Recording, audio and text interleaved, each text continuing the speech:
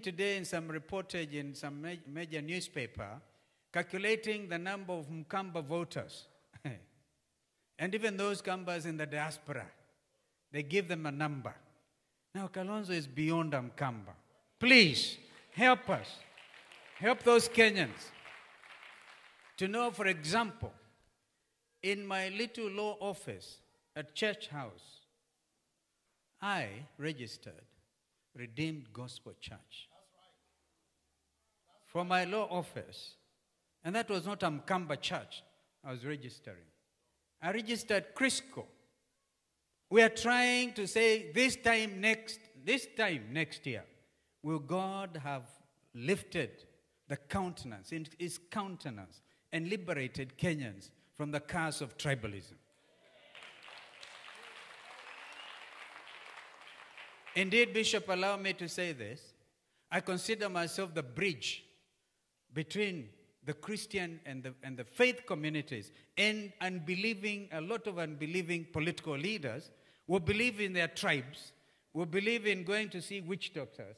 And therefore, when you look at Stephen Kalonzo Musyoka, please look at me as the bridge, praying bridge, absolutely less than perfect as a human being, but only holding on to the cross of Jesus Christ. So when you do your calculations, because they are busy conspiring, who is going to be the running mate, who is not going to be the running mate, please help them. Help them to know that what God has determined, no human being will stop it. And so, as we do so, we're on a mission. We're on a mission to change the way this country is governed. We're on a mission to do away with endemic poverty, deprivation, marginalization, misrule, because the people don't believe in the, in the rule of law. So, will you Kenyans relax? Please relax and give God a chance. Let God shape the affairs and the destiny of this nation. Stop the conspiracies. Stop the stealing. Stop the thieving. A famous high commissioner said, We have stolen everything and we are vomiting over their shoes. We believe that we can buy voters. We believe that we can buy leadership by coming up with all kinds of concoctions that do not add up to anything other than manipulating the minds of Kenyans to give you votes. But up to what end? I don't want to continue. I hope media, you please, if I've said nothing from this pulpit today, will you help Kenyans detribalize their minds? I believe, for example, when I was vice president and appointing my brother, a member of the task force, to do the reforms of prison, I was not doing so because of Sakishi. Marsden Madoka comes from, I think, Taita Taveta.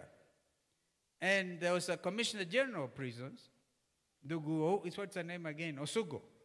I realized and said, in, the, in our effort to marginalize ourselves, the Kisii community had never had, because of tribalism, I never had a service commander.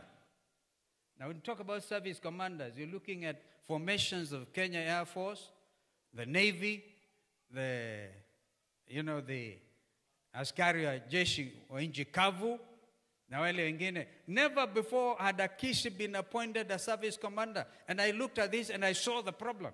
And I said, Osugo, whom we, we had hunted with my peers that time, Dr. Choya, had hunted Osugo and made him commissioner. He then became commissioner general of prisons.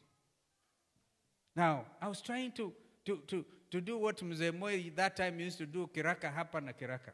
But the time has now come to stop telling the people Mount Kenya region that Kalonzo is not a Mkikuyu. I am. Are you with me? Are you with me?